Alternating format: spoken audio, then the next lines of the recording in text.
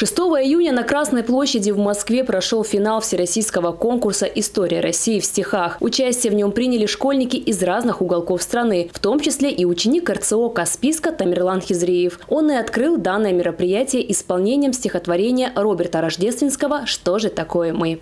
Что же такое мы? Мы из лесов безбрежных, мы из блокадной тьмы, мы из стихов сгоревших, из невысоких изб, песенного всесилия, мы из бессмертия,